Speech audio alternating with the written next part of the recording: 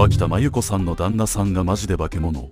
旦那さんが田舎でテレビを見ていて川北さんのこと見て好きになってこの人と絶対結婚する。って誓って東京に上京する。7年交際して毎日お風呂は一緒に入って寝るときは手をつながないと寝られないとめちゃくちゃラブラブ。